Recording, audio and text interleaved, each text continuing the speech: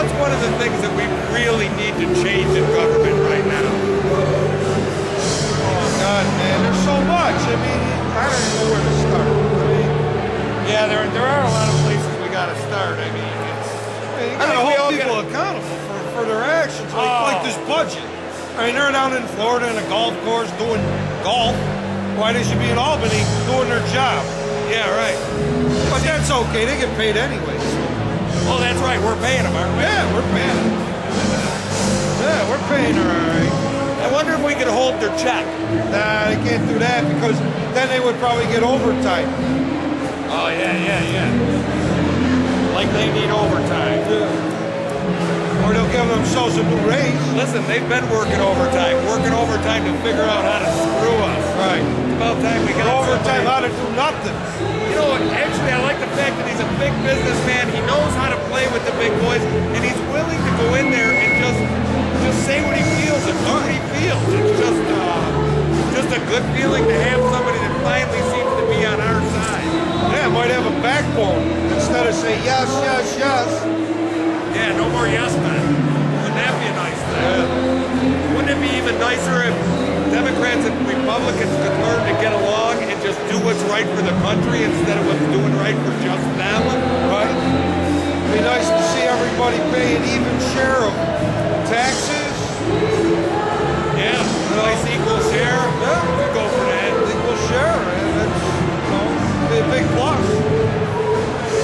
One Yeah. guy's got to pay tax, the next guy don't have to pay tax. I know, and it seems like every time you turn around, they're taxing you or something. Right. Well, the little guy gets taxed got money, you don't get really taxed too hard. I mean, they do tax you, but they really don't see it like the, you know, the blue collar worker, you know, that needs every nickel to pay their bills. Yeah, I mean, really, how much can they take out of our pocket before they start taking out of some of their own? Well, they don't want to take out of their own pocket. No. That's not the master plan. No, they'd rather they'd rather take some more from us.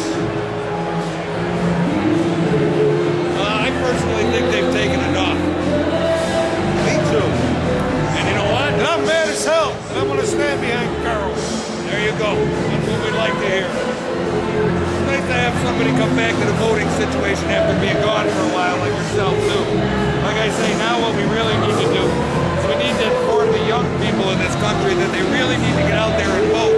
Otherwise, they're just going to lose it. It'll be it'll Oh, be yeah. so far gone so fast. I mean, look at how It'll be the same people in the in the office all all the time. There will be never a change. Look how far politics has gotten away from us since just me and you were kids, you know? Thing used to be good. Gas used to be, what, a buck and a half a gallon. Maybe they need to get rid of some of that old dead wood. Nowadays, it seems like they just put the screws to us every chance they get, you know? Because it's, it's old people don't like change. And change, you gotta change with the time or you're left behind.